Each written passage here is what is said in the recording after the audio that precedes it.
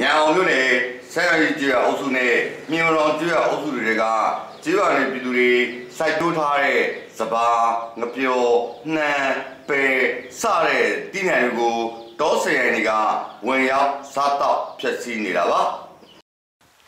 တလာခွဲနှစ်လလောက်အကြာကြာသည့်အထိအောင်တောစီရိုင်းများဒေသမှာရှိတဲ့တောင်သူများရဲ့လုပ်ငန်းခွင်စဘာခင်းတွေမှာဝင်ရောက်ခြင်းစားတောက်ခြင်းဖြစ်စည်းခြင်း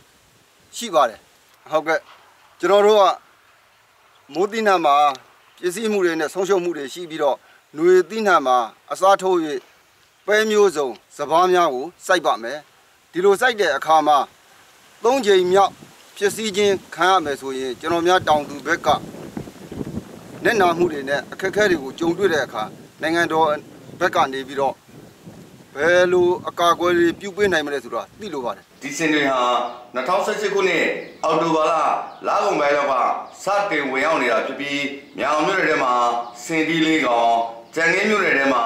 စင်မတစ်ကောင်စင်တီနှစ်ကောင်ဝင်ရောက်ကျက်စားနေတာဖြစ်ပါတယ်အခုလိုတောဆင်ရန်တွေကိုကျေးရွာအနီးကနေအမြန်ဆုံးမောင်းထုံးမှသာ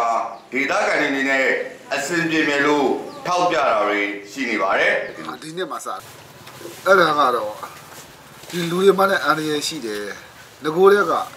မရှိလို့လောက်ကိုင်းစားရတဲ့လူတွေဒါတွေကိုတော့အစိုးရလဲပြီးတော့ပစ္စည်းဆုံးရှုံးတဲ့လူတွေကိုထောက်ပံ့ပေးတင်တာပေါ့တစ်နှစ်လုံးနေပြီးတော့သူတို့ခင်ဗျာဘာမှမရပဲလူလော့ထွက်ပြေးရတဲ့ဘဝဖြစ်သွားတာဟုတ်ဒီတောဆယ်ရီဟာရခိုင်ရုံးမဘက်ကဆင်းလာတာဖြစ်နိုင်တယ်လို့သက်ဆိုင်ရာဌာနကခံမှန်းထားပြီးအစားအစာစားပါမှု စင်မုံဆိုးတဲ့အနေအကြောင်းအခုလိုကျေးရွာရဲ့နီးရောက်လာတာဖြစ်ပါတယ်မြေမတော်ကျွေးအုပ်စုတွေကိုတောဆယ်ရီဝင်တော့ကတော့တစ်တောထုတ်လို့ရတဲ့စီရင်နေနဲ့မောင်းထုတ်ခဲ့တယ်လို့အခုဆဲအာကြီးအုပ်စုကတောဆယ်ရီကိုတော့တစ်တောဝင်တဲ့အနေနဲ့ဒေသခံတွေကပူပေါင်းမောင်းထုတ်နေကြပါတယ်